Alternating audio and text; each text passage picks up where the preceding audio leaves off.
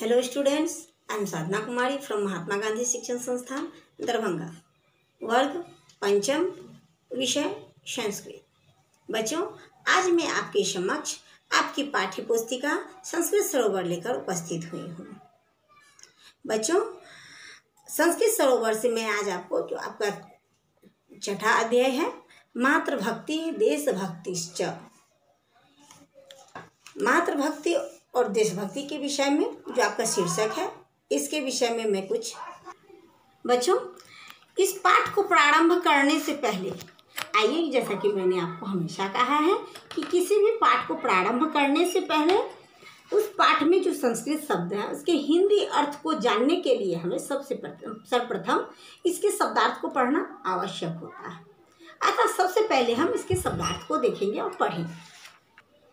आपका पाठ है सिक्स और इसकी, इसका जो टॉपिक है वो है मातृभक्ति देशभक्तिश्च।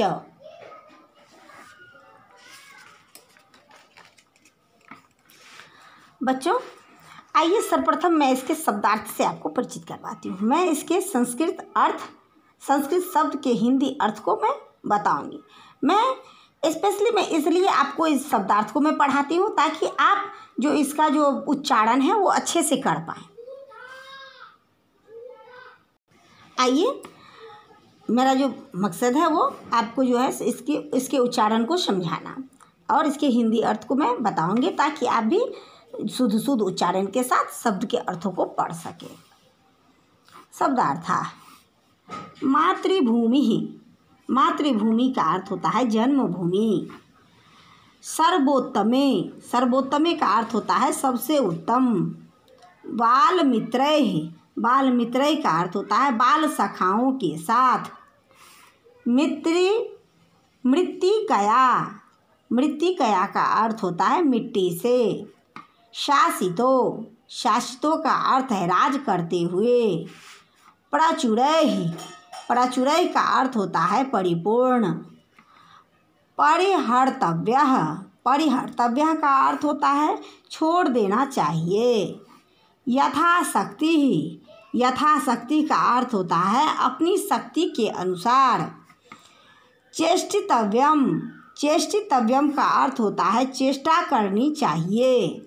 स्वर्गादपि। स्वर्गादपि का अर्थ होता है स्वर्ग से भी। गणयशी गणयशी का अर्थ होता है गौरवपूर्ण है। इस प्रकार से जैसे मैंने आपको उच्चारण, संस्कृत के उच्चारण के साथ इसके हिंदी अर्थ को पढ़ाया है, आप सभी बच्चे भी इसी प्रकार से शुद्ध शुद्ध उच्चारण करते हुए इन शब्दार्थ को याद करेंगे। भक्ति और देशभक्ति, इसका जो टॉपिक है, मातृभक्ति, देशभक्ति माता और मातृभूमि, ये दो ही सर्वश्रेष्ठ है। बच्चों, आपको जब मैं इस चैप्टर को पढ़ाऊँगी तो आप इसमें देशभक्ति से जो रिलेटेड आपके जो निबंध हैं, वो भी तैयार हो जाएँगे। आप अच्छे से इस चैप्टर को पढ़ेंगे, तथा इससे निबंध भी तैयार कर सकेंगे। बच्चों, आज मैंने आपको जो है मातृभक्ति, मा, मातृभक्ति ही देशभक्ति इसके शब्दार्थ से मैंने आपको परिचित करवाया। मैंने इसके उच्चारण के साथ शब्द के अर्थ को मैंने, संस्कृत शब्द के हिंदी अर्थ को मैंने बताया है। आप सभी बच्चे सर्वप्रथम इन शब्दार्थ को याद करेंगे। पुनः मैं इस टॉपिक के साथ फिर उपस्थित होंगी। तब तक के लिए धन्यवाद।